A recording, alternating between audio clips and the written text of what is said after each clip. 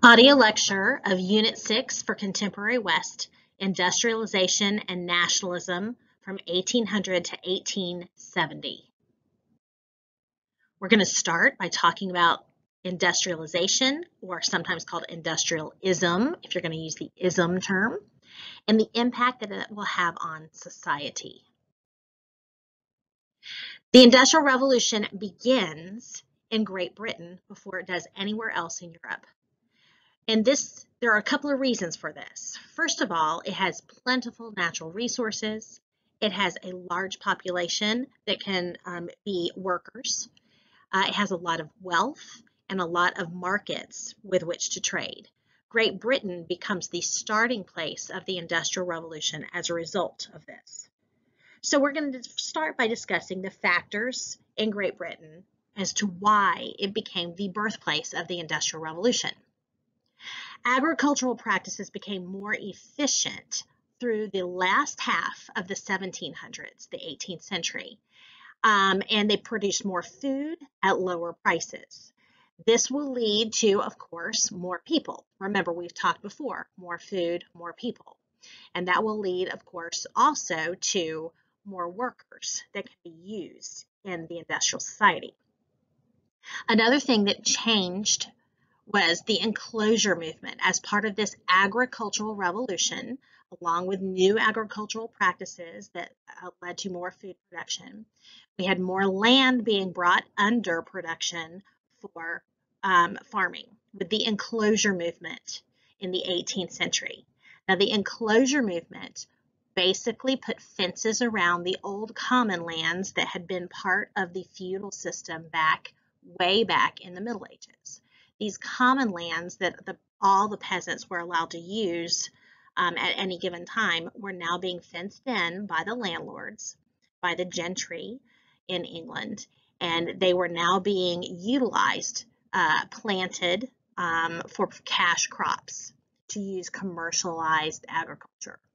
And this caused many peasants off of the lands ultimately by not being able to have a subsistence living off of these common lands they are now forced to find work elsewhere. Many of them will move into towns. Many of them will become cottage industry um, workers, as we'll discuss in a later slide. And this, of course, also caused an increase in the labor supply, more people to work in um, different kinds of industries that will help to give birth to the Industrial Revolution first in Great Britain as well.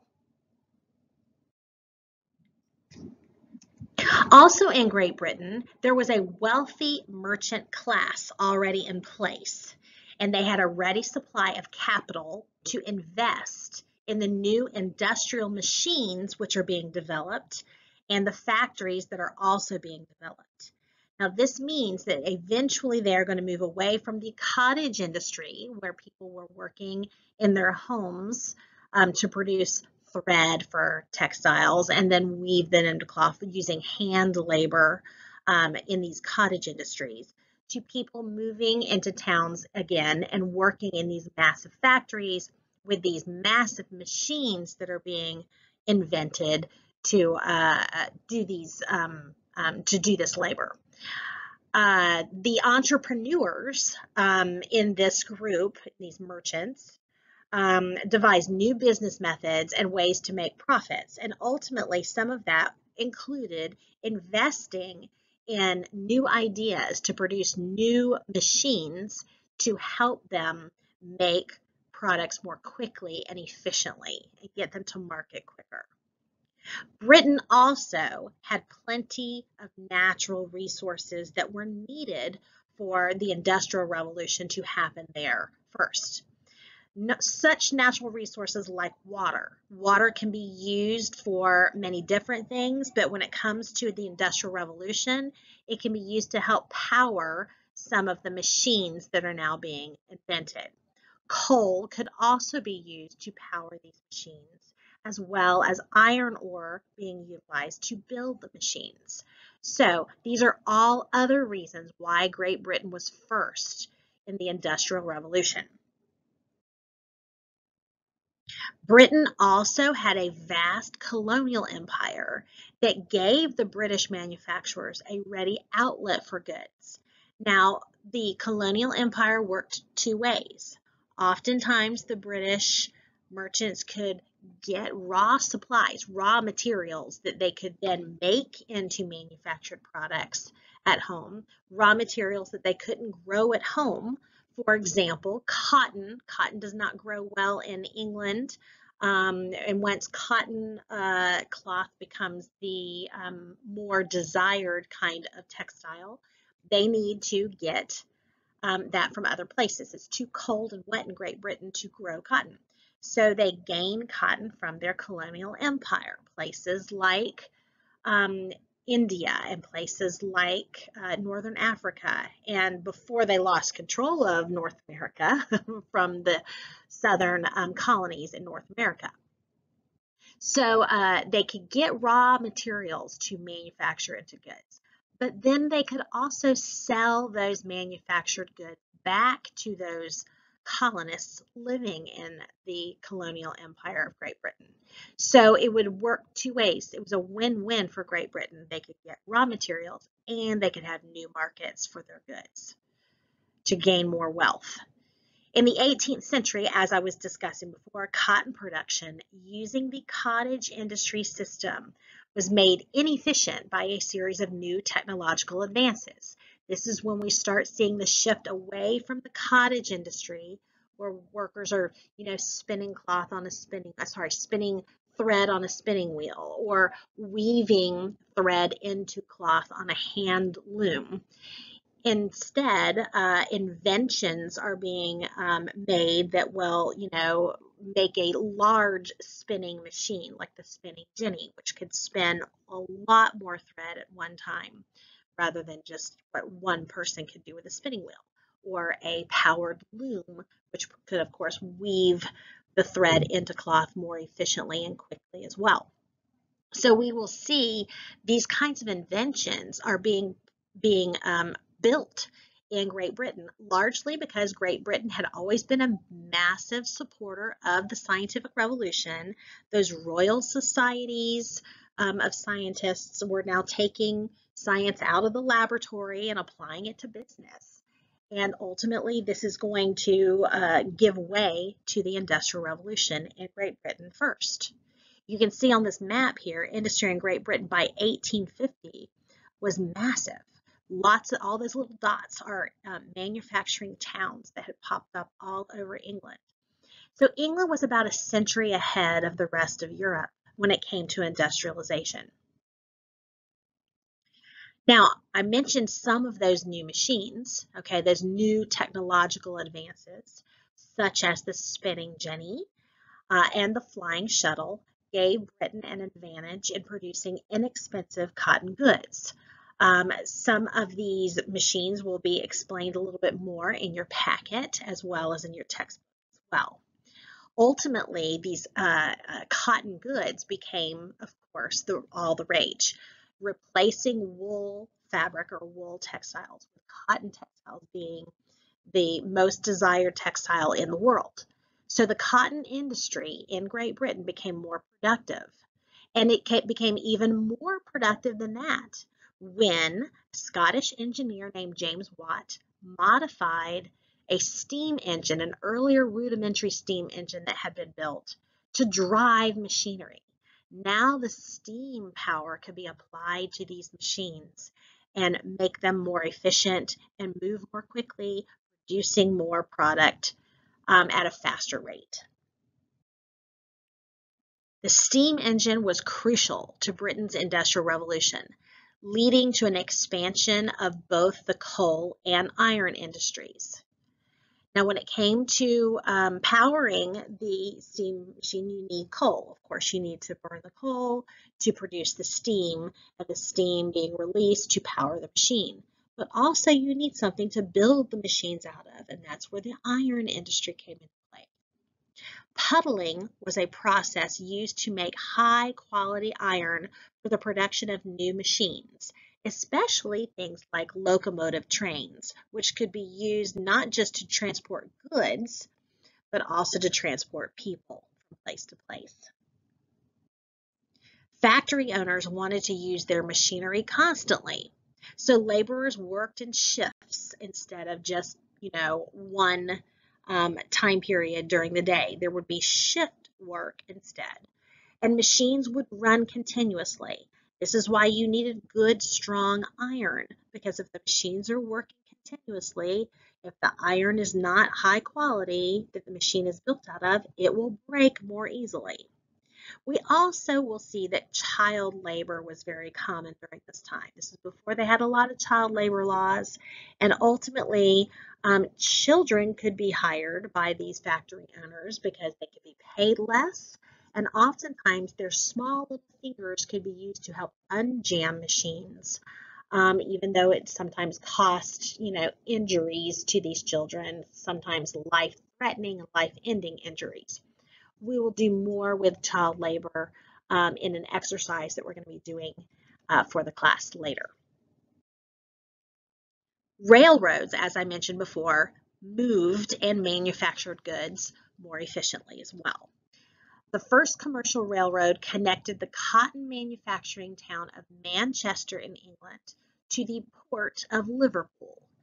Manchester became a big um, textile producing um, city, but they were landlocked. They did not live, they, they were not located on, um, on the coastline, and Liverpool was. Liverpool was a port, um, and so ultimately these two would be connected through this railroad um, construction. Railroads will become key, a key component of the Industrial Revolution throughout Europe, not just in England, and also in the United States, by the way um, and they will lead to an ongoing economic growth because of the Industrial Revolution, because of them being able to get goods to market more quickly um, and efficiently. Also, of course, steam power could be applied to other kinds of transportation as well, like boats as well. Now, we will see eventually industrialization spread to the continent the pace of industrialization in Europe and the United States depended on many factors, including government policies. In other words, many of the other nations in Europe and in, in the United States may have had some of the same, um, I guess you would say, factors, key factors that Great Britain had to, as to why industrialization was able to happen there um, easily, but they may not have had all of the ones that Great Britain had. And so therefore, um, they would not develop industrialization as quickly as Britain would. Um, governments in Belgium and France and also in some of those Germanic states uh, supported industrialization and provided funds to build roads, canals, and railroads, all with which to get products to market more quickly. When the Industrial Revolution spread to the United States, thousands of miles of roads and canals were built to link the East and the West and helped to expand uh, our nation out westward as well. After, of course, we had purchased the Louisiana Territory from France when Napoleon was in power, we will want to expand into that region and railroad construction will help with that as well. In 1807, speaking of transportation, Robert Fulton built the first paddle wheel steamboat, improving transportation on the waterways. Eventually, railroads provided the most effective means of transportation in the United States, but the steamboat will also be um, a United States invention that will eventually transform transportation within the United States along rivers but also it will eventually be utilized between um, the United States and Europe um, on the high seas. Um, in the United States, as farmers and immigrants filled the cities in the United States, a labor force became available for factory owners to expand their industries in the United States as well. Women and children um, who were paid lower wages often worked in factories as well. This is the same pattern that we saw happen in Great Britain and in other parts of Europe happening in the United States. Now let's talk a little bit about the social impact of the Industrial Revolution in Europe. Industrialization urbanized Europe and created new social classes, as well as the conditions for the rise of socialism. Now, we haven't talked about socialism per se yet, but we will talk about it as a reaction to the Industrial Revolution. Um, it's a both a political as well as an economic um, ism, things that end in ISM, okay, that we'll be discussing um, a great deal in the second half of this course. European cities and towns grew dramatically by 1850 all throughout Europe um, as well as in the United States due to industrialization. Factories were built in towns and cities to take advantage of those increasing populations that had a, a labor force. The rapid growth of cities led to overcrowding oftentimes in those cities, which of course led to disease being spread readily as well as poverty. So a downside to industrialization is the rise of um, slums um, and problems uh, with um, social groups that develop as a result of overcrowding as well, including crime as well as disease. Industrial capitalism rose, however, during the Industrial Revolution and produced a new middle class, the ones that built the factories and owned the factories. They are the ones that bought the machinery and developed the markets for the goods. These entrepreneurs were oftentimes associated with the traditional bourgeoisie that we have been talking about in the earlier centuries, but these were specifically um, ones that became increasingly more wealthy due to industrial capitalism because of the mechanization of industry. So a growing middle class, upper middle class factory owners now. The Industrial Revolution also led to the development of an industrial working class, okay, the ones that the factory owners need to hire to work in their factories. The working class had little protection from factory and mine owners and often faced dangerous working conditions. And this is one of the reasons why um, socialism will uh, develop in the middle of the 19th century as a response to the desire for workers to gain more, um, to get some results from their from their working um, factory owners. Sorry. And uh, they will eventually start to push for more changes, and this will eventually lead to the creation of working unions, if you will, or labor unions. Women and children made up a significant portion of the labor force due to the low wages. Um, the factory owners could justify paying them less than anybody else. Um, they weren't men, they were women, they were children, and they could justify paying them even less. Um, and since there was no government regulation of wages, there was no such thing as a national minimum wage in these nations as the Industrial Revolution bloomed. Um, the factory owners, they had a huge labor supply, and if you didn't like the pay that you were given, the factory owner would just say, okay, you're dismissed. There are 14 other people that are unemployed that are willing to work for any wage um, rather than be unemployed. So uh, since the government was not regulating a minimum wage, um, oftentimes the wages did not increase very rapidly. And this, of course, will cause a desire for social reform um, and unions and eventually the rise of socialism.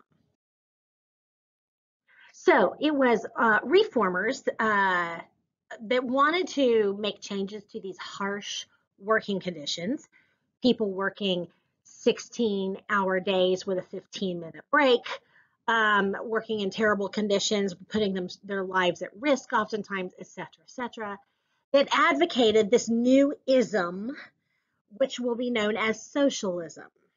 and they believed that public ownership of the means of production, meaning the factories and the machines, would allow wealth to be more evenly distributed. So the people who were advocates of socialism were ones that were advocates of communal ownership of the factories rather than the capitalists owning the factories, the business owners owning the factories. Utopian socialists were the first group of socialists. They're nicknamed utopian because later socialists like Marx, who is known as the, I guess you would say, the, the you know, granddaddy of the socialists, even though he's later, um, he will nickname these earlier socialists utopian socialists because he believed that their ideas were too idealistic and were not based in scientific reasoning. Anyhow, one of the earliest of the utopian socialists was Robert Owen. He was a Scotsman who believed that an ideal society could be created through socialism. He was very idealistic. He kind of based a lot of his ideas off of the ideas that we saw in um, Thomas More's Utopia book. It was written back in the 1500s. And he believed that if the factory owners allowed for their workers to ultimately participate in the process of ownership, um, and share in that idea, forming, forming co-ops and those kinds of things, that ultimately it would benefit everyone, including the factory owner himself. that it would ultimately incentivize people to work harder and produce more if they felt that they had more of a stake in that production and if they felt safe in the workplace and felt cared for in the workplace. Again, Later socialists like Marx, even though, again, he's considered the granddaddy of the socialists, believed these ideas were too idealistic. And then there was never a way to make the factory owners understand that the people should share in the ownership of that property, of those businesses. Ultimately, Marx would be an advocate of a kind of revolutionary socialism um, which will eventually be known as communism, which we'll cover in a moment. Now, let's talk a little bit more about reaction and revolution after the Napoleonic age as well. Again, we will talk more about socialism and about Marx and those kinds of things later on uh, in another unit. Let's first talk about the political ideas that are going on after the defeat of Napoleon in Europe. So, after Napoleon's defeat, the victors, the, the winners, met in Vienna, um, and they referred to this meeting, this summit meeting, as the Congress of Vienna. Congress just means meeting, okay? The Congress of Vienna. They meet in Vienna, Austria, to try to redraw the map of Europe to create a balance of power once again and to strengthen what will be known as classical conservatism, which is like a return to traditional monarchy, even a return to absolute monarchy in many places, uh, etc. so after the defeat of Napoleon, Great Britain, Austria, Prussia, and Russia met at the Congress of Vienna to restore peace and to balance the power in Europe. To redraw the boundaries that had been erased by Napoleon's takeover of all those territories. And they have to reestablish the balance of power that had been lost due to the fact that France uh, had taken over everything. Now, the person who was the host of the Congress of Vienna was the chief minister of Austria. He's kind of like the um, prime minister, if you will, um, underneath the um, emperor himself. His name was Clemens von Metternich. And he was sort of the host of these negotiations. These are basically it's a peace settlement treaty. A peace treaty will be um, negotiated here to end the Napoleonic Wars. And he wanted conservatism, or what will be re referred to as classical conservatism. He wanted to restore the monarchies that had ruled all over Europe prior to Napoleon removing them from their thrones and putting his own family members in those positions of power. He also wanted a uh, guarantee that the nations of Europe would combat any and all upheaval that might upset the balance of power in the future. They saw, these folks at the Congress of Vienna after the age of Napoleon, saw nationalism and even revolutionary ideals like classical liberalism, the ideas of natural rights of man, and all those things that had inspired the French Revolution, they were now seen by many as dangerous, as opening up a Pandora's box and um, causing havoc throughout Europe.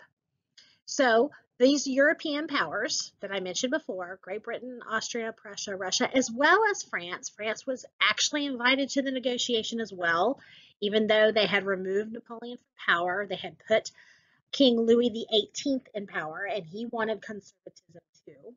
Okay, these European powers divided the land to ensure political and military stability throughout Europe, ensuring that balance of power. They also agreed that they would meet regularly in conferences uh, to make sure that that balance was maintained. This will be a group known as the Concert of Europe. And if you think about it, the Concert of Europe was kind of like the first um, international organization that was designed to, quote, keep the peace in Europe, end quote. In reality, it was designed to put down any and all liberal and national rebellions and to maintain the balance of power through strengthening classical conservatism, strengthening monarchies, and strengthening the status quo, the, the way things had been prior to the age of revolutions. The European powers believed in a political philosophy known as conservatism or classical conservatism. The reason I keep saying classical conservatism is it is different than modern day conservatism. Okay, so 18th century or 19th century classical conservatism was the belief in, you know, having absolute monarchy, um, having privileged classes like the nobility having certain privileges that couldn't be touched, etc., etc. so this is, in other words, this kind of classical conservatism is based in tradition.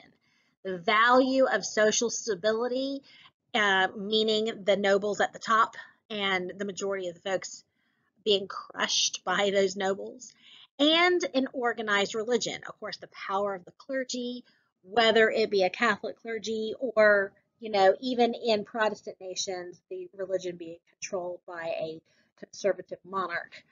Um, anyhow, the European powers, except for Britain, okay, uh, adopted through the Congress of Vienna and through what would be the Concert of Europe that I mentioned on the previous slide, what was known as the principle of intervention.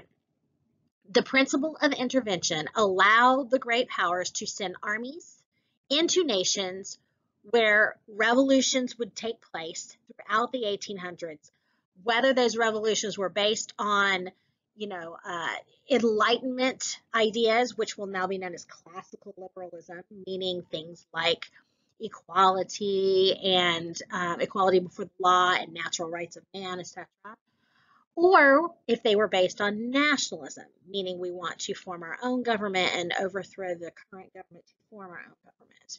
Again, this principle of intervention um, would take place through this concert of Europe, this international organization where these nations pledged that they would support, you know, um, fighting against these kinds of rebellions um, with their military forces. Great Britain did not agree to this, and this is largely because Great Britain was a fairly classically liberal country already with a constitutional monarchy and with certain um, rights already being guaranteed to the people through equality before the law and those kinds of things with their own constitution. So they were not so keen in participating in this concert of Europe to squash those kinds of rebellions. However, they were would participate in squashing rebellions that would overthrow governments completely. They were for constitutionalism, but maybe not for overthrowing monarchies completely. So constitutional monarchies were one thing. The Republican kinds of revolutions where they wanted to get rid of the monarchs, that was not um, in the right minds um, for the British, as we know, since we revolted against them to form our own republic. We, meaning the United States. great powers will use military forces to put an end to revolutions all throughout Europe um, as we go through the uh, 1830s and into the 1840s. Okay, um, these are places like Spain and Italy, uh, and we will see monarchies being restored in all of these places. Now, there were some forces of change where we see classical liberals and nationalists opposing the existing political system, threatening conservative regimes. Those were where those rebellions took place, even though many of them were squashed. While conservative governments were in charge, powerful forces still existed, such as liberalism, and they were continued to be spread. This was a byproduct of the French Revolution and even of the age of Napoleon, as we discussed before, how the ideas of Napoleon spreading nationalism ultimately will impact Europe for generations to come, long after Napoleon is gone. Liberals, and at this point, classical liberalism is what we're talking about. Again, different than modern day liberalism. Classical liberalism is more like Enlightenment idealism, but updated for the new century, for the 19th century. Okay, so they wanted things like civil liberties, freedom of the press, freedom of speech, equality before the law, religious toleration, and a government ruled by a constitution, much like the government in the United States under our constitution, and even like the government in uh, England under the constitutional monarchy. Many liberals wanted a an ex, you know explicit written document like what we had in America with our Constitution that outlined a particular Bill of Rights. Y'all know the first 10 amendments to the Constitution are our Bill of Rights, where we advocate things like those things listed in the previous um, paragraph liber civil liberties, freedom of the press, freedom of speech, etc. Another force of change in the 19th century, in 19th century Europe, was of course nationalism, which we've been talking about since the Napoleonic era. Nationalism arose when people began to identify themselves, sometimes based on some kind of common thing that they shared. As I mentioned in a previous unit, Sometimes it was based on that we all speak a common language, or we all have a common religion, or we live in a common region, or we have some kind of common cultural traditions and customs. Nationalism ultimately would be seen as a threat to classical conservatism because giving independence to nationalistic groups could upset the balance of power that had been established at the Congress of Vienna. So the traditional classical conservatives did not like nationalism. Nationalism seemed to go hand in hand more with classical liberalism, of course, than it did with conservatism. Conservatism was anti-nationalism because they saw nationalism as upsetting the status quo. Beginning in 1830, liberalism, meaning classical liberalism, the 19th century definition of it, which is basically, like I said before, Enlightenment idealism updated for the new century. So beginning in 1830, classical liberalism and nationalism went hand in hand and led to some revolutions taking place in Europe. Okay, I already mentioned Spain and Italy, but we also see some other places. Of course, France. France always rebels. and Belgium. Both of them actually overthrew the current conservative regimes. France will eventually end up with a more constitutional style monarchy instead of getting rid of monarchy altogether. Um, uh, Poland and Italy were unsuccessful in their rebellions, however. Now, that was in 1830 with those rebellions. But what we will see happen here is in 1848, by the time we get to 1848, beginning, of course, in France, because when Paris sneezes, Europe gets a cold. We sometimes refer to these revolutions in 1848 as a revolutionary virus, starting in France and then spreading throughout Europe. These are revolutions fighting for things like classical liberalism, and nationalism. Okay, um, and one of the major things that happens in France was after the rebellion against Louis the 18th in 1830, uh, they had tried to establish a more um, fair constitutional monarchy, which ultimately fell apart, and there was a, a more conservative king that was next in line for the throne. They had a rebellion against him and once again establish a traditional constitutional monarchy with a fairly classically liberal king under Louis Philippe. Economic troubles in France, though, led to a new rebellion in 1846 and then eventually in 1848. Okay, what had happened is under the constitutional monarchy of Louis Philippe, the monarchy was um, not seen as doing enough to alleviate the financial situation. Does this sound kind of familiar to you? This is similar to how things started with the regular French Revolution in 1789. Ultimately, the constitutional monarchy in 1848 will be overthrown and a new government will be established um, under the policy of universal male suffrage. Now, what that means is all men get the vote. The word suffrage just means the right to vote universal male suffrage, and they are attempting to establish yet another French Republic. This would be the second French Republic. Unfortunately, the second French Republic lasts less than a year. And by the end of 1848, once again, the um, uh, Second French Republic will uh, be in jeopardy due to a Bonaparte taking over and establishing himself as emperor. Okay, so in 1848, initially after overthrowing the constitutional monarchy, a new constitution will be ratified, creating the Second French Republic as the new government in France. Eventually, it would be that uh, republic which will allow for a Bonaparte to come in and eventually overthrow it because they elected a man as their president of this republic named Charles Louis Napoleon Bonaparte. He's the nephew of Napoleon Bonaparte that we've discussed already. Okay, and largely he gets elected because of his name. Remember, the people of France love Napoleon. He's very popular, and so he will uh, be elected as the president of the Second French Republic.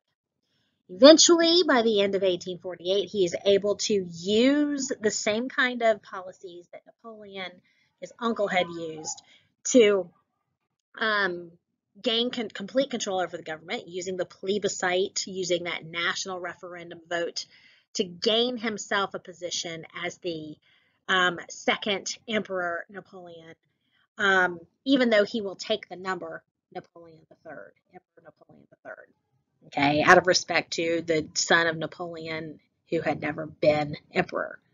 So we see that happen once again in France. Now, in Germany, or in the German um, Confederation, um, the 38 independent states of the German Confederacy attempted to unify in 1848 as well. This is another 1848 revolution. They were inspired by what they had seen happen initially in France with the overthrowing of the um, monarchy and the establishment of the Second French Republic. This is prior to uh, Napoleon, uh, Louis Napoleon becoming Emperor Napoleon III. Um, and so they attempted to unify. Now, German nationalism was a real thing that was inspired largely by the remnants of, you know, the Napoleonic age.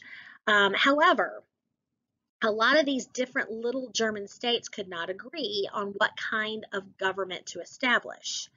They came together in a meeting at, called the Frankfurt Assembly. It met in Frankfurt. Um, and they began um, to try to work through what kind of government they would create. Ultimately, the Frankfurt Assembly would fail to gain the support of one of the biggest leaders in all of those German states.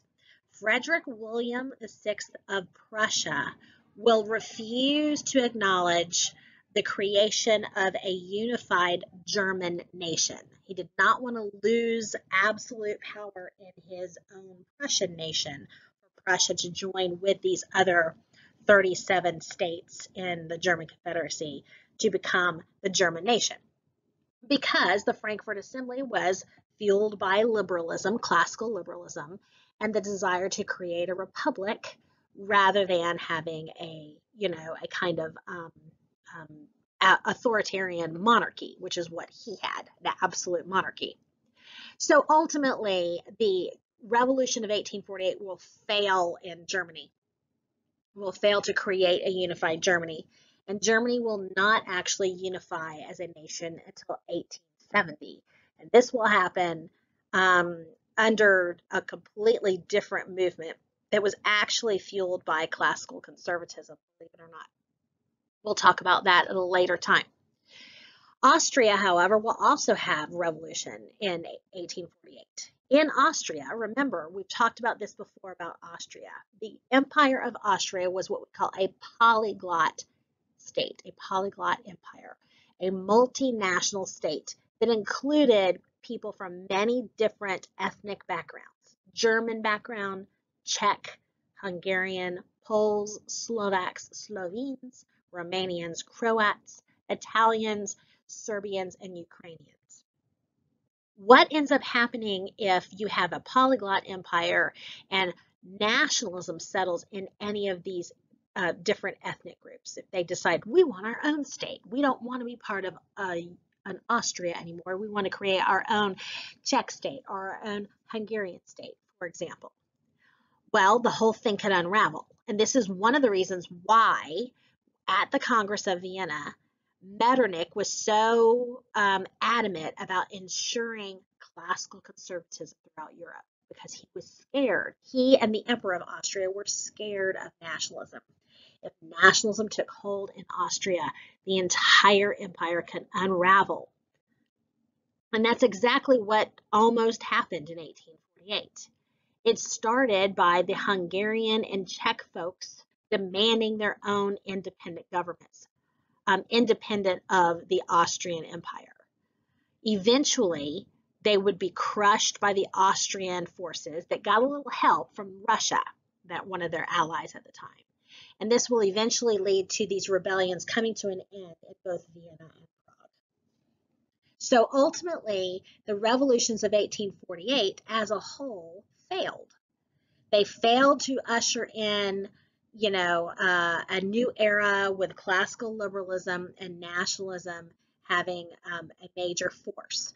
We see in France, yes, they get rid of the constitutional monarch and they create a republic, but ultimately that republic gives way to a president who eventually uh, names himself emperor, and we have a Bonaparte on the throne again.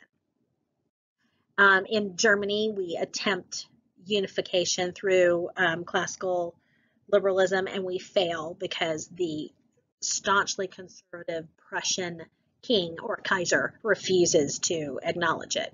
And in Austria, we see these revolutions fail with a strong um, emperor uh, being able to crush the movement and come in and reassert his own power.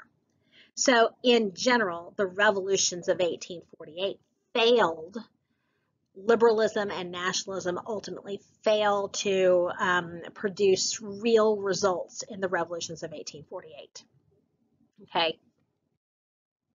Revolts in northern Italian states in Lombardy and Venetia were also put down by Austrian authorities. They were also another version of, you know, the revolutions of 1848 failing um, uh, for in Austria because the Austrians who had control over northern Italy will remain in control over northern Italy, Lombardy and Venetia.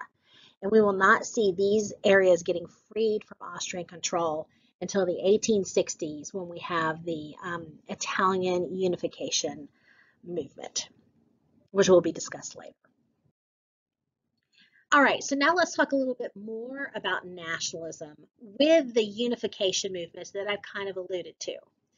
The, the ideas of classical liberalism and nationalism uh, that failed to produce real results in the 1848 revolutions, we will see have some nationalism anyways, will have some success in unification movements in the German states and in Italy as we move into the later half of the um, 1800s, of the 19th century. But they will have to take a different approach than those earlier revolutions that failed took. And that's what we'll discuss in this next section. All right, so let's first of all talk about the rise of nationalism leading to these unification movements, okay? Now, there were some areas where we will see um, it not really work, um, nationalism not really work to create a true, strong, unified nation. Um, Russia tried to add some territories uh, to their um, to their nation. Uh, since they are always seeking warm water ports, they tried to invade the Balkan provinces of Moldavia and Wallachia, which are in the southern part. They had belonged to the Ottoman Empire and they wanted those territories. This is part of what is known as the Crimean War between 1853 and 1856. The Ottoman Empire, as I said, controlled these provinces and they declared war on Russia when Russia started acting aggressively to try to take these territories. By the way, this is the same territory that Russia is acting very aggressively to try to take once again, right now, current day. Great Britain and France, however, did come to the aid of the Ottoman Empire to keep Russia from being able to take those territories. So because of the foreign intervention, Russia will not be successful in taking these territories. Why did Great Britain and France do this? Great Britain and France were both fearful of a stronger Russia. They were fearful of a stronger Russia. And not that they really cared about the Ottoman Empire, but because they wanted to thwart a stronger Russia, um, which um, worked to their advantage at that time. Oddly enough, within a generation, they will ally with Russia against Germany and Austria in the First World War. But at this point in time, they are um, allying um, with the Ottoman Empire to fight against the Russian aggression. in this war. It, it, was because of the British and French intervention in the Crimean War on the side of Turkey or the Ottoman Empire that um, Russia will lose this war. Uh, heavy casualties caused Russia to pull out of the war. And the Treaty of Paris, yes, yet another Treaty of Paris. This is like the third one, okay, uh, that takes place in 1856, will end the Crimean War and we'll place the provinces that were being contested, okay, those areas of the Crimean territory, instead of under Russian control or under Ottoman control, they will actually be placed under international control. This will come into play, this Balkan region will come into play as a major flashpoint um, as we lead up to World War One. So kind of keep that in the back of your mind because when we get to World War One and we talk about where the war begins, it begins in this area, the Balkans region. Okay, and there's a lot of long animosity left over from these kinds of, uh, you know, nationalistic movements in the middle of the 19th century that come into play leading up to World War One. Now, the effect of the Crimean War was that the concert of Europe, however, was ultimately dismantled. Uh, Austria did not support its long-term ally in the war, which had been um, Russia, and Russia and Austria ultimately become enemies. This is important leading into the early 20th century because as we approach World War I, Russia and Austria will be on opposite sides. Had Austria supported Russia in the Crimean War, that might not have happened. Okay, so we will see implications leading up to World War I happening during this time period. Without Russia, Austria could no longer really prevent Germany and Italy from forming their own states. And so we have the unification movements happening finally in both Italy and Germany as we move into the later half of the 1800 of the 19th century. it begins in Italy, really, right after the failed 1848 revolutions to try to get Austria out of northern Italy. Shortly after, in 1850, people started looking to the northern kingdom in Italy. They had a small kingdom, the kingdom of Piedmont, to lead the unification movement in Italy. And so what ultimately happens is Piedmont, which was a small Italian kingdom, based on classical liberalism with a constitutional monarchy, that will become the nucleus around which all of Italy will unify to create the Kingdom of Italy. Okay, it doesn't happen overnight. It takes a decade or so. but ultimately, because the nucleus around which Italy unifies is a classically liberal state, a constitutional monarchy, ultimately the uh, Kingdom of Italy will be a classically liberal kingdom, a constitutional monarchy. It will mimic the nucleus around which they unify. However, there will be some methods that will be used by Piedmont and the leaders in Piedmont to achieve unification, which are based on different principles than those earlier failed revolutions of 1848. Okay, yes, nationalism will still be a major um, influencer in this movement, of course, Italian nationalism, but they will also rely on some Machiavellian principles which will be known as the um, politics of reality, or what we like to call realpolitik. We'll talk more about this in the next few slides. But we'll see similar movements like this in the German unification movement as well. Okay, so now we're going to discuss these unification movements in Italy and Germany specifically.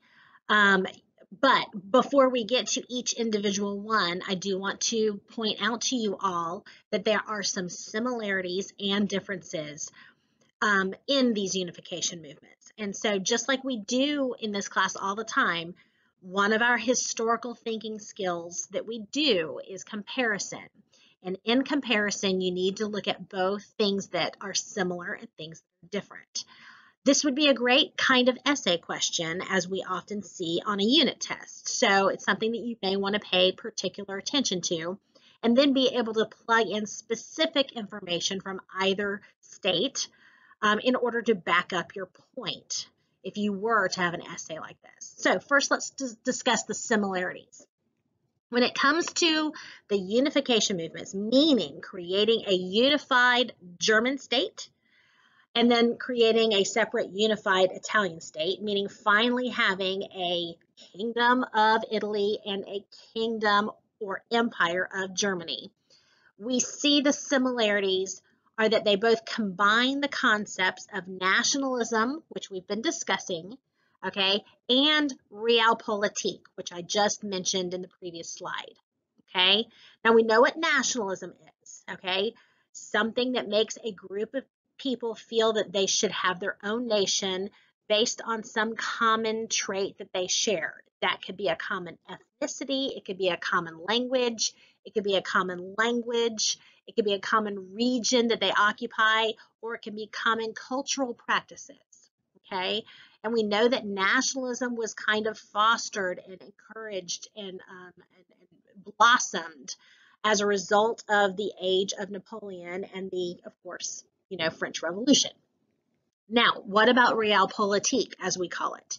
Realpolitik really means the reality of politics. And in reality, it's something that we've been discussing since the beginning of the year when we talked about Machiavelli. Okay, what it is is the use of pragmatism and practicality. Now, pragmatism is doing whatever needs to be done to get the end result that you want which sometimes means that you have to do things that might be unpalatable to you or maybe unpalatable to others. Okay, sometimes you need to use, as it says, whatever means necessary to achieve that goal. And the goal here with the Realpolitik movements in um, the mid 1800s is the unification movements, unifica unifying Italy as one nation, and then separately Germany unifying as one nation. Okay, so as we usually discuss with Machiavellian ideas, realpolitik in this era uses things like raw power, war, and even deceit to get the end objective. this should sound familiar to you. Um, as I said, there's someone from Renaissance Italy have a similar idea. Of course, it's Machiavelli. Okay, it's just Machiavellian ideas updated for the mid 19th century. Okay, so the similarities are that both use nationalism. In Italy, it's Italian nationalism. In Germany, it's German nationalism. And both of them use realpolitik, meaning that their methods use pragmatism and sometimes using whatever means necessary to achieve the goal of unification. Now let's talk about the differences. The governments that each of these new nations um, use when they form, once they unify, are completely different. Okay, as I mentioned previously, Italy, once it becomes a unified nation of Italy, the Kingdom of Italy, it will create a classically liberal constitutional monarchy. And that is because the nucleus around which they unified was the city-state of Piedmont, which was a constitutional monarchy. So just like in a molecule, the um, you know the uh, the entire molecule kind of mimics the nucleus. So if the nucleus was a constitutional monarchy, ultimately, once Italian unification happens and there is now a kingdom of Italy, that is going to mimic that Piedmont constitutional monarchy. So Italy, the, the you know kingdom of Italy will be a constitutional monarchy once it unifies. In Germany, we will see that they will create, when they unify as Germany, okay, they will create a classically conservative authoritarian empire. And this is because the nucleus around which Germany unifies was the Kingdom of Prussia, which was an authoritarian absolute monarchy. And so Germany as a nation will mimic the nucleus that was an authoritarian absolute monarchy. So the Empire of Germany will be an authoritarian absolute monarchy once it unifies. Now let's talk about Italy first. The unification movement in Italy, okay, begins with that kingdom of Piedmont, that Italian, small Italian city kingdom of Piedmont, which was a constitutional monarchy. And it really all begins with the prime minister of Piedmont. Okay, remember it's a constitutional monarchy. So yes, there is a king, but there's also a parliament. So the parliament in Piedmont was had a prime minister, okay, much like the British parliament had a prime minister, and that man was Camillo Cavour. Camillo Cavour, prime minister of Piedmont, ultimately used both Italian nationalism which he was an advocate of, okay, um, as well as realpolitik, or the politics of reality, pragmatism, deal making and deal breaking, sometimes using warfare if need be, in order to achieve Italian unification. So one of the things that he did first was knowing that the first move to Italian unification was going to be that they had to kick Austria out of those northern Italian provinces of Lombardy and Milan and Venetia, those areas that had rebelled in 1848 against Austrian control and lost, okay? He knows that he's going to need help in doing so, okay? And the best thing to do was to make an alliance with the natural enemy of Austria since the French Revolution, and that, of course, is France, okay? Now, at this point of time in France, France is under the um, government of Emperor Napoleon III. Remember, the guy who had originally been the nephew of Napoleon. He had started off as the president of the Second French Republic that was established in the 1848 Revolution. But he quickly took over um, completely and became the, crowned himself the Emperor of France once again, another Bonaparte as an emperor. Okay, now, in return, this is how the deal that was made between the Camillo Cavour, the Prime Minister of Piedmont, and um, Emperor Napoleon III of France.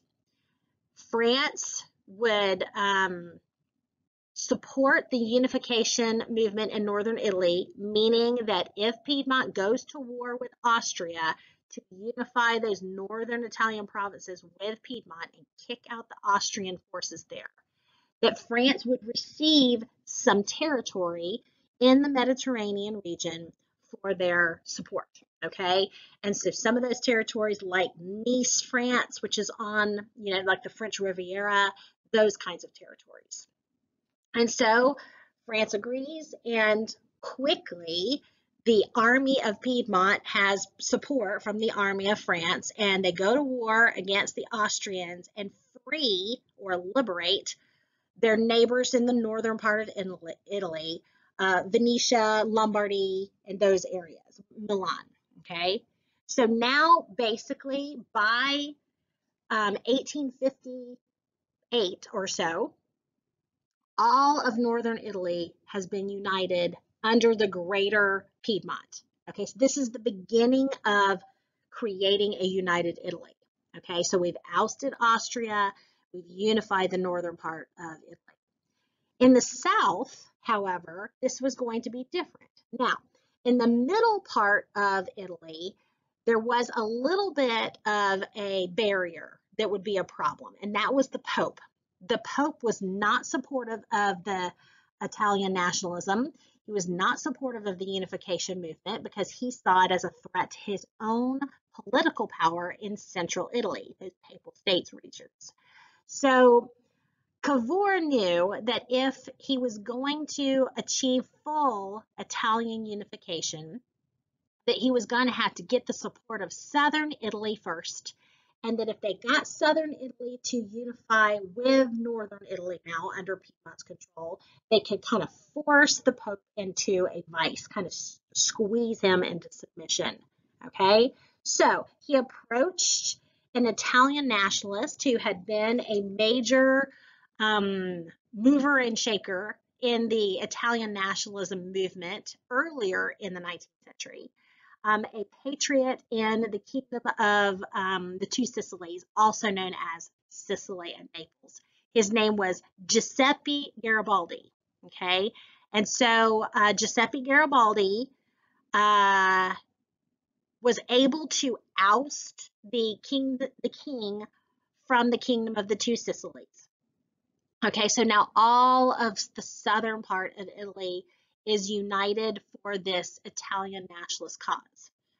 Garibaldi and Cavour agreed that they had similar interests in Italian unification. And so Garibaldi then turned over control of the southern part to the king of Piedmont, okay, that whose prime minister was Camillo Cavour. So King Victor Emmanuel II of Piedmont will now be seen as the king over not just Piedmont and northern Italy, but also southern Italy. So it's only the middle part of Italy that is not unified by 1860. Italy was finally unified completely, forcing the central part, the Papal States, into submission, as well as the part that uh, in Venice that had been um, uh, reluctant to join in the nationalism effort. Okay, after two other small minor wars, the Austro-Prussian War of 1866 and the Franco-Prussian War of 1870. These are actually both wars that are big wars in the German unification movement, but they will have implications, smaller implications, but implications in this uh, Italian unification movement ultimately as well. And so finally, but after central Italy is kind of forced into accepting um, uh, Italian unification, we say that by the end of the 1860s, okay, by 1870 in particular, we have a, a unified Italy. And the Kingdom of Italy will be ruled by Victor Emmanuel um, the second of Piedmont. He will become Victor Emmanuel the first of Italy. His number will be the first Victor Emmanuel to rule in Italy. Okay, but the second that had just ruled over Piedmont. Um, he will become the king of Italy and he will establish, it will be a constitutional monarchy with an Italian parliament. Okay, Camillo Cavour will actually help establish that government, um, before he retires from politics. Okay, so uh, the Kingdom of Italy will be a constitutional monarchy under the ideas of classical liberalism. Okay, with you know uh, natural rights of man and equality before the law and those kinds of things being enshrined. Okay, mimicking the nucleus around which they unified, which was of course the classically liberal Kingdom of Piedmont. Okay. Now in Germany, Germans looked to Prussia in the cause of German unification. Prussia was an authoritarian state known for its militarism, which we've been discussing for several units now. Okay. Now, it's the similar method, though, using nationalism as well as realpolitik. Okay, now the realpolitik using war, using deal making and deal breaking and those kinds of things that we saw with the Italian unification movement, that happens also in Germany. Okay, but the realpolitik, the politics and reality, deal making and deal breaking warfare are even more extreme in the German unification movement. It all begins in the 1860s when Prussia, as this authoritarian state, even though it's an authoritarian state, it technically has um, a parliament, a Reichstag. They're more of an advisory body to their monarch, though, than they are really a legislature, a full-fledged legislature. But in the 1860s, the uh, king of, or Kaiser as they're called, of Prussia was uh, William I or Wilhelm I, as he's sometimes called. And the chief minister or prime minister that worked hand in hand with him was a man named Otto von Bismarck. Bismarck ultimately um, was given even more power by William I to basically run Prussia how Bismarck and Wilhelm I saw fit without having any real challenge come from the Prussian parliament. This is why we say that the Prussian parliament, which was known as the Reichstag, really was not a full-fledged legislature, but more of an advisory body. Okay, so ultimately what Bismarck will do, he and William I will work together to strengthen the power of Prussia and then to use that power of Prussia to unify all of those other German principalities okay, from the German Confederation into a greater Germany. Instead of classical liberalism being the, the catalyst, however, uh, because that had been the catalyst, um, classical liberalism and nationalism in the failed 1848 revolutions. Instead, this time in the 1860s, it's going to be more staunch con classical conservatism coupled with German nationalism that is finally going to actually achieve German unification. Okay, so Bismarck will be in charge of strengthening the army, uh, collecting taxes, making tax collection even more um, um, efficient, and he will eventually start to expand Prussia's territory and take other territories, unifying all of those Germanic territories into a greater Germany. He starts by expanding into Denmark. Okay, so there will be a series of wars that Bismarck and Prussia will fight to add territory to Prussia, ultimately unifying all of Central Europe, which we know as Germany, into the Empire of Germany. Okay, as I said, it started with that attacking of Denmark. They attacked Denmark, but before Bismarck attacks De um, Denmark to take uh, German territories from Denmark.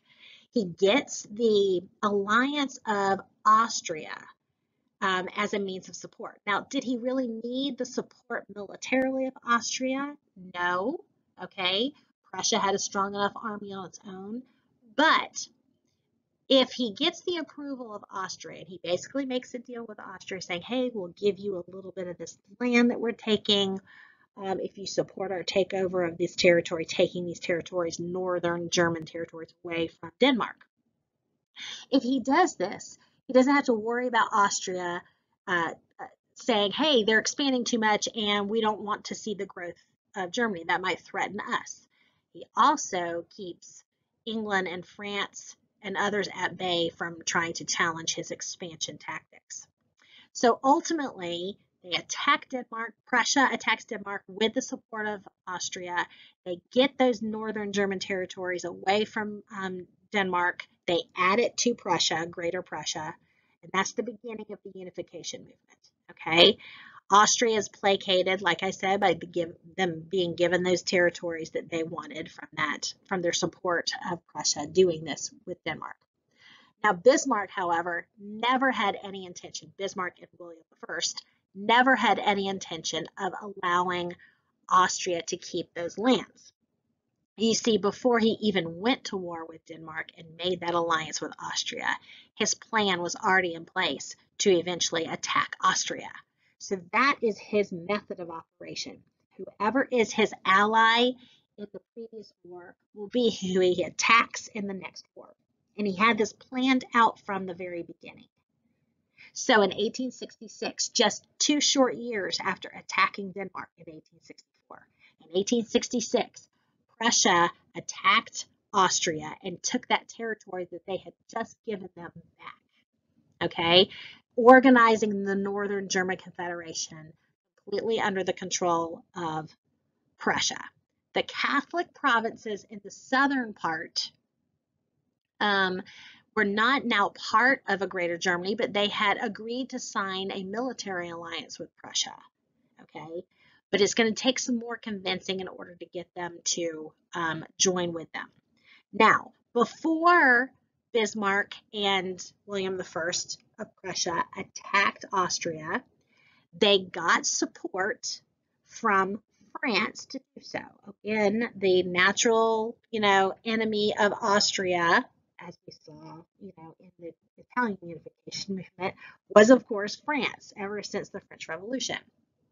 So they got um, agreement from Emperor Napoleon III that they would not get involved uh, to in the you know the expansion tactics of Prussia when they fight against Austria, as long as the southern German areas remained independent, because of course the um, French and the southern German territories they are both Catholic, they have lots of trade deals, etc. And of course, Bismarck and William I agree to that, at least at the time.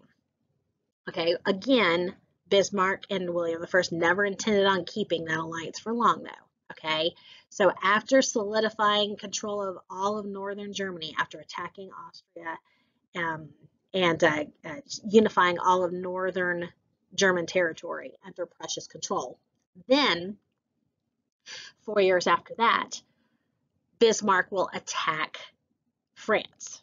Okay, so at this point, he is going to have to do something to keep the international uh, forces at bay, okay, because this does upset the balance of power. And if he outright attacks France, which is a major mover and shaker in European, you know, um, diplomacy, it's going to look as if he's an aggressor, which he is. When I say he, I mean Bismarck and William I, I mean Prussia, okay? So he has to, uh, Bismarck is brilliant. He has to make it look like France is the aggressor here.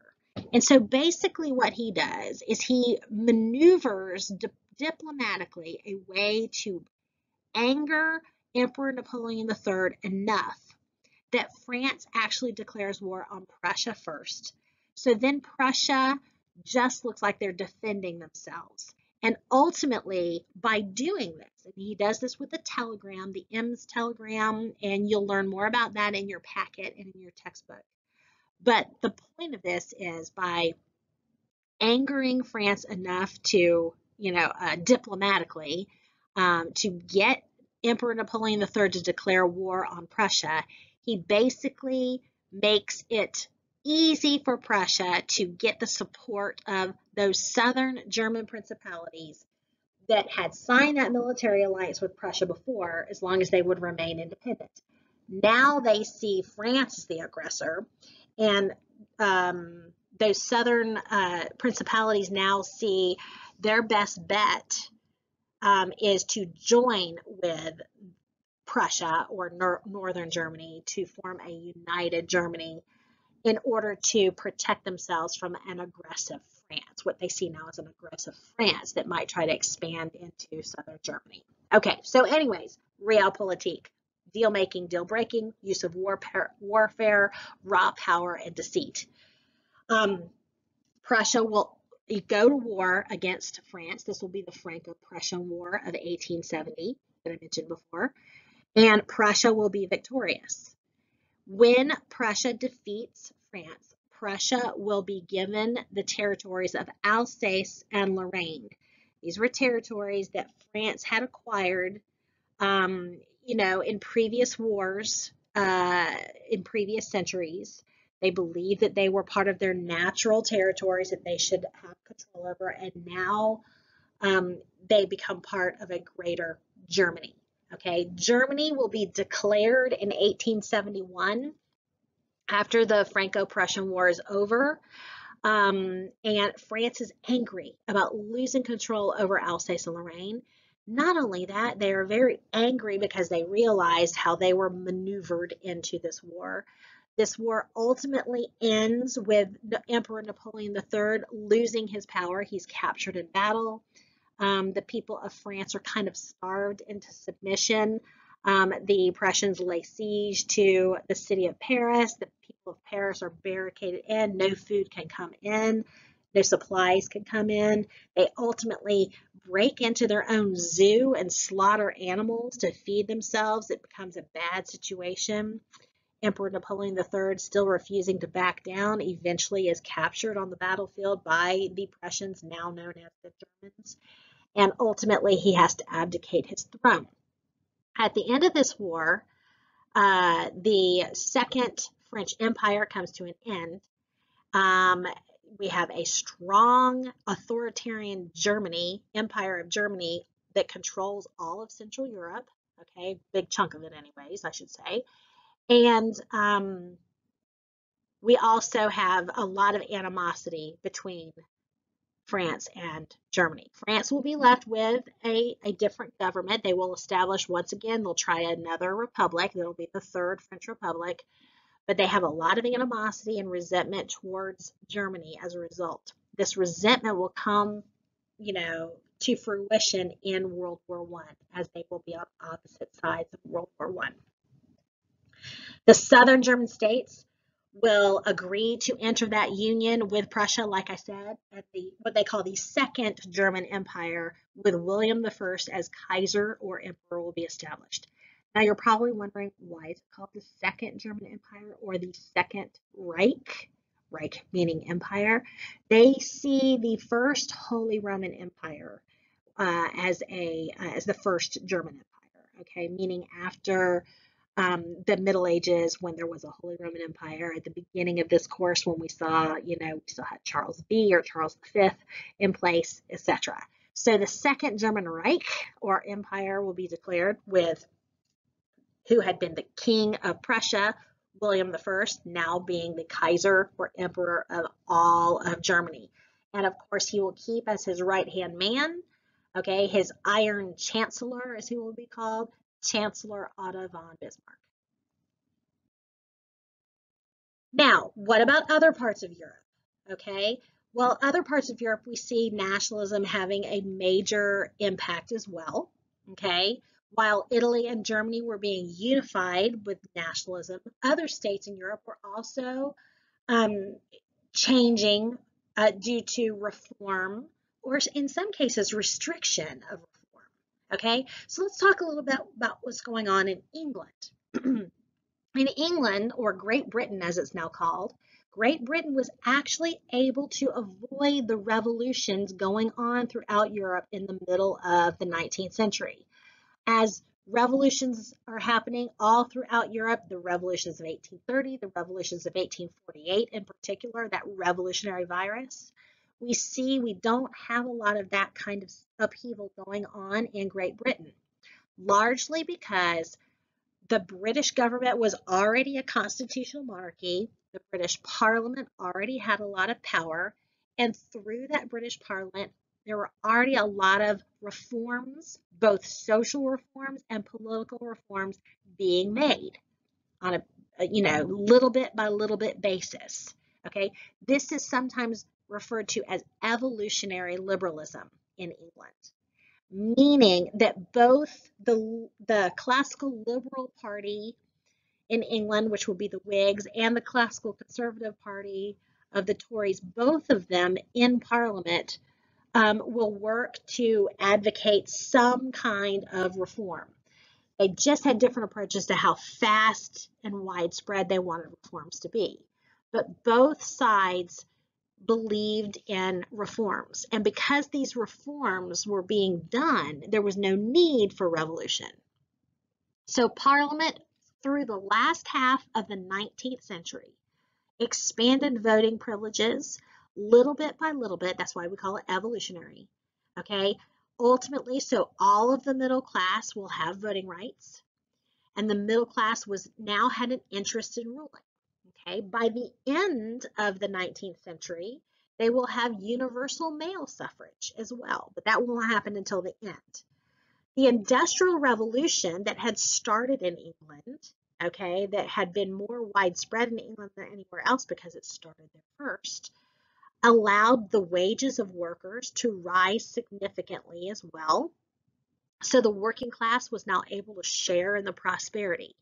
And so, especially after unions were legalized in Great Britain, this sort of kept socialism from growing too largely in England. Okay, so instead of socialism becoming a, a challenge to the traditional uh, or to the constitutional monarchy in England, um, instead, socialist tendencies were incorporated into the unionist movements and they were advocating for reforms um, for the workers and ultimately bargaining collectively with the bosses to get some better wages and better conditions for the workers. Because of the growth of unionism in England, um, you know, socialism was not as much of a challenge to uh, the government in England as it might be in other places because those those uh, pushes for um, social and economic reforms were being made through, you know, unionism and through incorporating more and more people into the um, the voting in England by the end of the 19th century, workers are even allowed to vote, universal male suffrage. Um, and it's since they think they have a say in the government, at least through the electoral process, um, they feel as if demands are being met. Although slowly, that's what we call it evolutionary liberalism, it does allow for changes to be made. Queen Victoria, who ruled Great Britain throughout most of this time period, she ruled from 1837 to 1901 actually reflected this nationalistic pride of British citizens. Uh, they had a pride in all that they had accomplished through the Industrial Revolution. They had a pride in the fact that they, uh, you know, she actually advocated for reforms to be made um, to, to the benefit of all citizens of Great Britain. And the people adored her as a result of that. And ultimately, her she worked well with Parliament throughout these years rather than against Parliament. And so, as such, she was known as a great queen um, who kind of advocated middle class values, if you will. And, um, you know, this evolutionary um, reform process would be fostered by her support. Now, in France, uh, at going back to when Louis Napoleon had been, you know, elected as the president of the Second French Republic during the Revolution of 1848. So he's the one who becomes Emperor Napoleon III. This is, you know, kind of going back on time here. How did that all come about? Um, Louis Napoleon asked the French people for the restoration of the empire. Um, after the Revolution of 1848 had happened, he had been elected president, and then because of his popularity, because of his name, um, he was able to use the plebiscite or that national referendum vote like his great uncle had done, and 97% of the people wanted an emperor. they at least wanted an emperor that was a Bonaparte. They thought that another Bonaparte as an emperor might mean that France will rule all of Europe once again, if you will. So he becomes Napoleon III, even though there was never a Napoleon II. Okay, he becomes Emperor Napoleon III, ruling an authoritarian government that limited civil liberties. Actually, uh, so they went from having that brief uh, Second French Republic to him becoming an emperor, and then reversing a lot of the um, good things that had happened.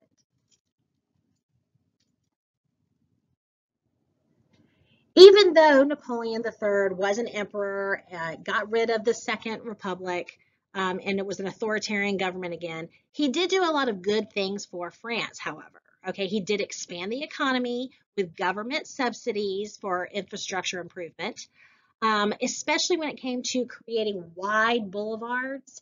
Um, he recognized that the streets throughout Paris, in particular, the capital city, were very narrow, um, and that if they were ever going to have trade move more freely um, through the streets, they need to create larger, expansive boulevards. Also, he recognized that by doing so, creating large boulevards like the Champs-Élysées in the middle of Paris, it's more difficult for barricades to be put up when revolutions happened. Okay, so he was trying to minimize the amount of revolts and revolutions um, because those barricades that would go up in the streets would actually bring business to a halt. So if you have these wide, expansive boulevards instead of these narrow streets, it's going to be a whole lot harder for those rioters to barricade the streets um, and stop business. So it's pretty smart if you think about it. He ultimately rebuilt Paris with these wide boulevards with public squares, underground sewers and streetlights, the uh, Paris became known as the City of Lights as a result. And ultimately, the Paris that you see today has a lot to do with Napoleon III. Napoleon III also gave the legislature, even though he was an emperor, there was still a legislature. And eventually, he will give the legislature more power when opposition to some of his economic policies arose. And ultimately, that is what keeps him in power. If it hadn't been for losing the Franco-Prussian War to the uh, Prussians, to William I and Bismarck, uh, then perhaps, you know, he would have been in power a whole lot longer and history would have been completely different. Now, what about in Austria? As we know, Austria being a polyglot empire, nationalism was a problem for the Austrian Empire because it contained so many different ethnic groups. Back after the uh, failed revolutions of 1848, um, failed to create some of these national governments that had revolted against Austrian control, like the Hungarians. Uh, it, uh, by the 1860s, there started to be some grumblings again, especially in the area of Hungary. Hungary was a fairly large territory um, that was controlled by Austria. And after the initial revolution of 1848 was put down in Hungary, by 1867, there were pushes coming once again from the traditional Hungarian nationalists for their own nation. Ultimately, Austria, the Austrian emperor, agreed to the creation of a dual monarchy of what will be known as the Austrian Hungarian Empire or Austria-Hungary. Uh, this was kind of a compromise, if you will. That's why it's called the Compromise of 1867. Instead of giving them complete freedom, um, each part of this now dual monarchy or dual empire had its own, some of its own governing forces, but it was united in other areas. So for example, each part, Austria and Hungary, each had their own constitution. They each had their own legislature and its own capital city. Vienna will continue to be Austria's capital. Budapest will be Hungary's capital. But they shared other things. They were held together by a shared monarch, one monarch, okay, one army, and one financial system. So they will be united militarily and financially, and ultimately the head head monarch but they will each have their own local governing structures and their own um, um, capitals and their own legislatures. This compromise allowed um, what would now be known as the Austro-Hungarian Empire to remain intact rather than unravel um, in the mid 1800s, in the 1860s. What about in Russia? Well, Russia is a little bit different, okay? After being defeated in the Crimean War, which was a huge blow to the Russian ego, okay, Russia realized that it had to really modernize. Now, modernization had begun under Peter the Great, Tsar Peter the Great, long before, you know, a century and a half before this, but it had been halted um, after his reign. It had been, uh, Catherine the Great had tried to renew um, modernization once again during her reign, but again had been halted by the end of her reign. The Russian czars had traditionally been suspicious of westernization, seeing it as trying to change Russia too much, and they wanted to make sure Russia maintained its Russianness, if you will. Um, and ultimately, this will be an issue because Russia had not fully modernized by the middle of the 1800s in 1853, when the Tsar at the time, Tsar Nicholas I, um, tried to attack the Ottoman Empire. Well, not that the Ottoman Empire was modernized, but when you know he thought that they would be able to defeat the Ottoman Empire to take the Crimean Peninsula. But when the Ottoman Empire got the support of Great Britain and France, both whom had who had um, industrialized, and they both had massive military forces that were now mechanized because of industrialization. They could not, uh, Russia could not defeat them. Russia was a large rural agricultural society that depended on the authority of the central government to function as an Eastern power. So it was still a very authoritarian, um, absolute monarchy, and the monarchy in Russia was very dependent upon the Russian nobles to keep the peasants in line. It's a really feudalism was still very prevalent in Russian society, at least in the case of how the peasants were treated. Okay, um, Tsar Alexander II will inherit the throne uh, the last year of the Crimean War that his father had started.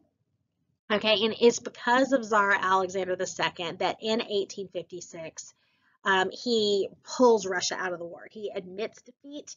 Uh, he agrees to the treaty terms with um, Turkey and um, France and England, and he basically cuts his losses. He is the one who tries to push reforms once again, or westernization once again in Russia he decided that, you know, he said the, the reason why we lost the Crimean War is because we were not industrialized, because we were not modernized like the rest of Europe. The only way we will be able to compete with the rest of Europe is to be more like the rest of Europe, be more modernized. So he decided to enact reforms, okay, um, from the top, from the top down, kind of like Peter the Great had done, kind of like Catherine the Great had done. And in 1861, he issued an emancipation edict freeing all of the Russian serfs. Now, this is important, okay? Because now those Russian nobles that the czars had always been kind of dependent upon for their support were a little angry about this. They were angry that they had lost all of that basically, you know, complete control that they had had over the Russian peasantry for so many hundreds of years. The new system did not, however, improve the lives of the serfs as Alexander II had hoped. Okay, Alexander's other reforms ultimately will lead to more and more animosity against him. The nobles were not happy that he had emancipated the serfs. The serfs or former serfs were not happy that he had not enacted enough reforms to alleviate their um, problems, uh, financial problems they wanted him to redistribute the land so that they all had access to land, and he didn't do that. So he basically didn't please anybody. He ticked everybody off, okay? And this will lead to eventually 20 years after he had emancipated the serfs, in 1881, he will be assassinated. It is not by the nobles or by the serfs that he's assassinated. Instead, it is by a radical group of um, anarchists that are in opposition to any and all authority. they, uh, because they assassinated him in 1881, his plans for creating um, a constitutional government for Russia. He was in agreement to allow himself to be limited by a parliament and create finally a constitutional monarchy in Russia. But that will be completely undone with his assassination. And as a reaction, a knee-jerk, knee-jerk reaction against what you know uh, had occurred to him, his son, who will be Alexander III, instead of continuing with the reforms of his father, saw that those reforms got his father killed and ultimately returned to the old methods of repression in Russia. He will go back to being a, a you know, iron-fisted authoritarian czar and rush all of that modernization that had been restarted again by his father, Alexander II, will be halted once again. This means that at the dawn of the 20th century, okay, as World War I is approaching, Russia is still in, you know, uh, backwards. They're still not fully industrialized when the rest of Europe had industrialized. This is going to be a problem for Russia going forward as we enter World War I. So another thing to keep in mind as we move forward. Now, what about in the United States? Yeah, I know that this is mostly a European history course, but we do talk about um, the United States as they relate to Europe, and a lot of the same things that are going on in Europe impact what's going on in the United States. Something that I mentioned in an earlier unit was that uh, in the United States, the, the Napoleonic Wars ended up causing issues. So we had a, the War of 1812 going on in the United States um, as a byproduct of those Napoleonic Wars. Um, eventually, we come out on top of that situation against Great Britain once again, but then we are later embroiled in a bloody civil war that will last from 1861 to 1865. So in the United States, the Federalists and the Republicans struggled over political control of the country. The Federalists wanted a stronger, larger central government. The Republicans wanted more independence for the states. Okay. Um, and ultimately, the victory in the War of 1812 over Great Britain ended a lot of those divisions for a little while and gave Americans a surge in nationalistic pride because we all agreed that we didn't want Great Britain to be a thorn in our side once again. Okay, gave us something in common to uh, rally behind. But in the middle of the 19th century, slavery became the biggest threat to the American political and social systems. And this is what threatened to tear the nation um, apart. Ultimately, abolitionism in the North challenged the Southern way of life. And with the election of Abraham Lincoln in 1860, South Carolina voted to secede from the Union. Shortly after, six more Southern states joined them and formed the Confederate States of America. This is a an exercise in nationalism. They saw themselves as a separate nation to the rest of the United States. So it is an exercise in nationalism. This Civil War ultimately is a nationalistic war. The nationalism of the Southern states versus the nationalism of the Union itself. The American Civil War will last four years. Ultimately, the Union, which wanted to keep all of the states together, defeated the Confederacy in the South in 1865. And by doing so, not only did the, they preserve the Union itself, the unity of the United States. But they also ended slavery and created one nation once again.